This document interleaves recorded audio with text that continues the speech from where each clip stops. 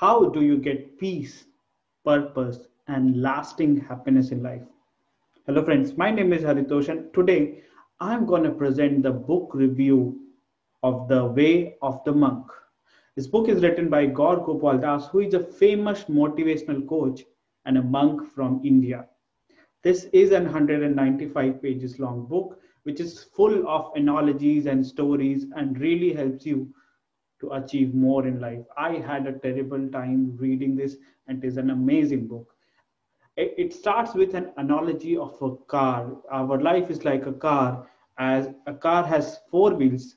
Our life has also got four aspects, and we're going to talk about that. It's a fictional story of uh, Hari Prasad Iyer and Gaur, Gaur Gopal Das.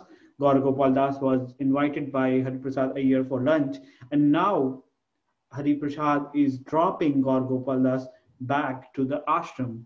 There is a big traffic jam, and in that traffic jam, there is this conversation about the four aspects of life. So let me talk about these four aspects. Number one is personal. So he talks again. Uh, how can you grow through gratitude? He says that no, we need to be positive in all the situation, even if it is a difficult situation. We need to find out something positive about that. Once we do that, it allows us to find the more positives about that, and that's how we grow through gratitude. He also says that we need to press pause and reflect on what we are grateful of. I mean, you would have heard that story where I, I was complaining about boots. I don't have that boots until I saw a person without legs. So we need to be grateful about what all we have got in life. The third concept he talks about is why worry. It's about the story of WhatsApp founder. The WhatsApp founders were rejected by Twitter and then even by Facebook but you know how WhatsApp has become a critical part of our life. So you say that no, instead of worrying, you need to improve, keep improving ourselves so that you become valuable. He also gives this beautiful flow diagram for why worry, uh, which you can see that if you can do something about it, you don't need to worry. If you can't do something about anything, then also you don't need to worry. So the fourth thing he talks in the personal aspect is the spiritual practice where he says there is a higher being and these are different ways and forms that we choose to connect with them. And meditation is one way which can really help you gain. He talks about his own practice of mantra meditation which he says that it's it's like a plane which takes you from one place and then brings you to another place. So that is uh, the personal aspect that he talks about. Second aspect that he talks about is relationships. He says that no, uh, we need to be sensitive when we speak to others, especially uh, when we are angry. Now he has this beautiful story of bucket. Uh, one day he was being late and he did not like to wash his clothes, and he kicks the bucket. And there is a senior monk in the ashram who tells them the way you treat inanimate objects, it actually gets spilled over to how you treat other people. So we need to be sensitive by our words and action, not only to humans, but also to animals and also to inanimate objects. Next, he talks about a virtuous vision. What is the way we help judge or perceive people? He says there are five ways we judge or perceive people. One is that we see only bad and magnify that. Second is see both good and bad but we neglect good and focus on bad. The third is we see both good and bad and we are neutral to both. The fourth way he says is we see both good and bad, but we neglect bad and focus on good. And the fifth, as you may guess, is we see only good and magnify. He said that if we want to uh, bring more joy to our relationship, we need to focus on number four, which is that we see both good and bad, but then choose to neglect bad and focus on good aspects of an of another person.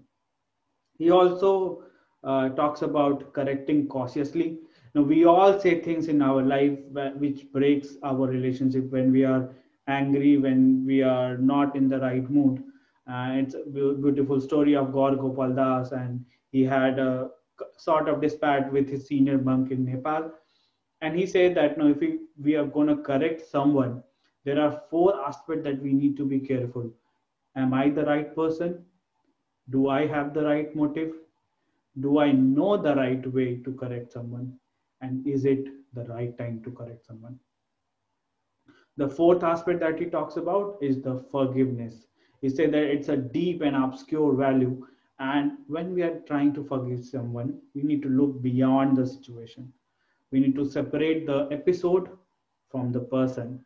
And we need to look at the higher purpose. He also cautions about forgiveness versus justice. And he says that if it is a personal level uh, hurt that you have, personal level something somebody has done bad, you may choose to forgive. But if it is something which is at the larger level, be it at the societal level or at the national level, you have to go for justice. It takes the story of the Nirbhaya Kand that happened in 2012, and he said why it was important to have that justice for that case. So that is uh, the four things that he talks about in relationships. The third aspect that he covers is about the work life, and he said that no, uh, we have the competition crossroad. We all know that there is a lot of competition, but the true competition should be the healthy competition that we have always with ourselves. We need to look at how we can improve ourselves, how we can be better than what we were yesterday, and how can we keep on learning, growing, and achieving more. We say that politics is prevalent everywhere and we need to be we need to manage the politics not indulge in politics but you should know how to manage politics.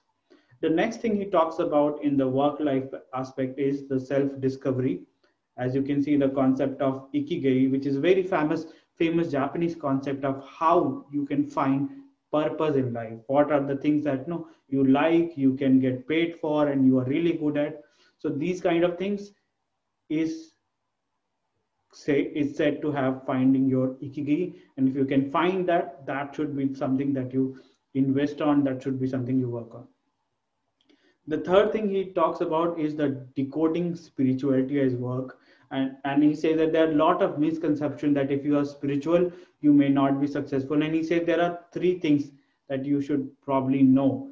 Number one is that spirituality does not kill ambition and just to achieve in fact it can really help you to get more ambition and and bring you more just and calmness to achieve success. Second thing is that there there is this uh, misconception that spiritual people get walked over in business. Uh, that is completely wrong. He, he talks a beautiful story of the sage and snake where uh, a snake used to bite people in the village and and the, one of the sage said that don't stop that and once he sees snakes after a few days, he finds that the snake is wounded and people are beating him up, down, and center. And he says that I asked you not to bite people, but did I did not say that do not scare people if somebody is coming towards you. That is what is important if we are talking about spirituality and work. We should work with the right jest and we should not let us be walked over by others. And he said that we should all make money. It's very important, but we should use it to serve and don't get into the trap of getting too many gadgets and other things. The last thing in work life he talks about is the integrity and character. He says that a good character can change not only your but lot of other lives as well.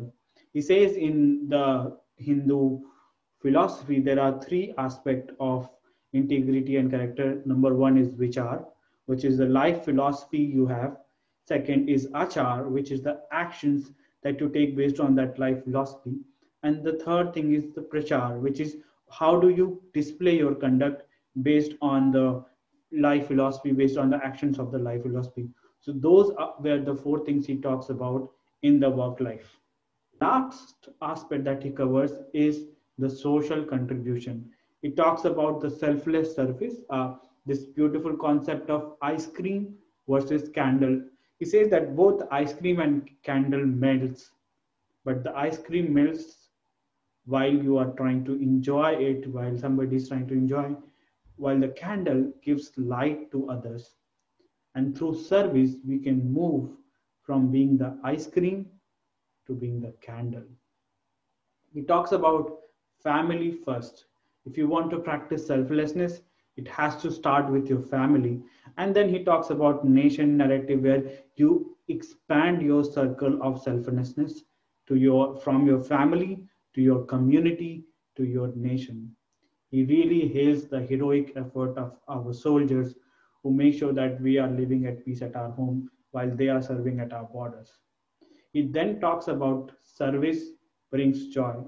He says that service means seva in Hindi, and seva is that spiritual element that brings joy and fulfillment. Now, if you bring, if you put a spiritual element to the seva, to the service, it gives you immense joy and you feel that you are fulfilled.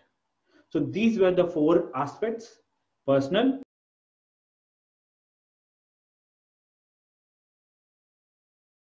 relationship,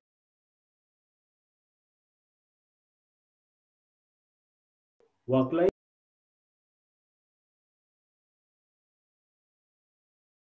and social contribution.